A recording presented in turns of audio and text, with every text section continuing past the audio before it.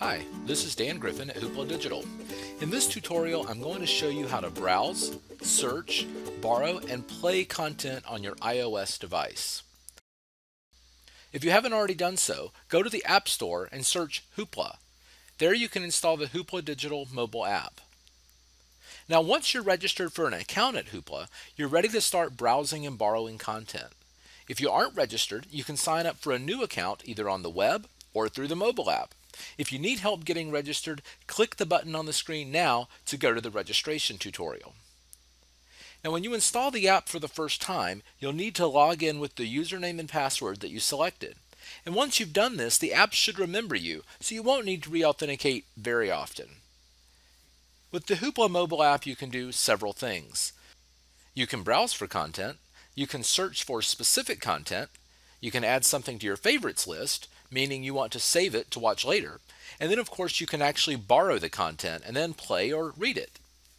Let's take a quick tour. As you can see at the bottom of the screen, right now we're on My Hoopla. I want to draw your attention to the top of the screen where it tells you how many borrows you have remaining this month.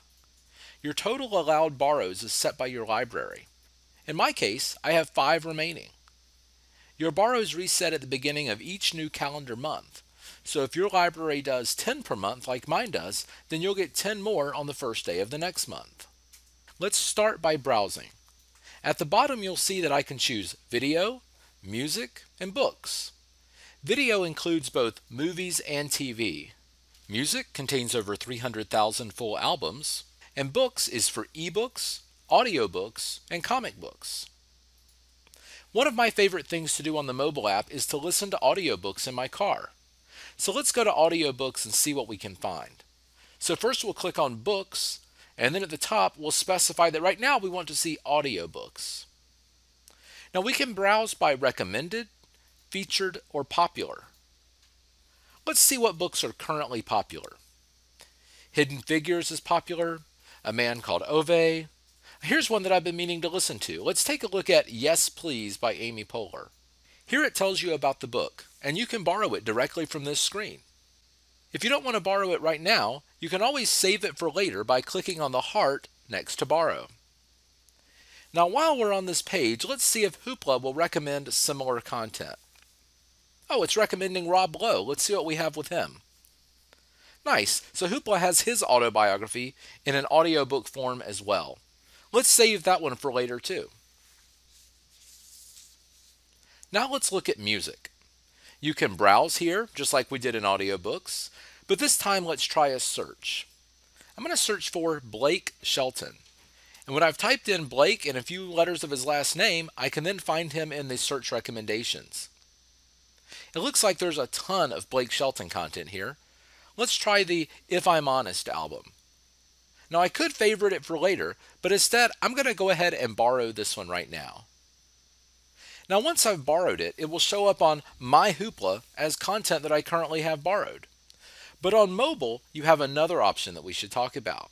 You have the option either to play it streaming, or you can download the content over Wi-Fi now so that you don't have to use your cellular data later. And once the lending period is up, it just automatically deletes from your device. Personally, I love doing this with music and movies to play on planes or for my kids to play in the car. Now, each of these categories works basically the same. You can browse or search to find the content that you'd like to borrow, and then you can either save it for later, stream it, or download it to your device.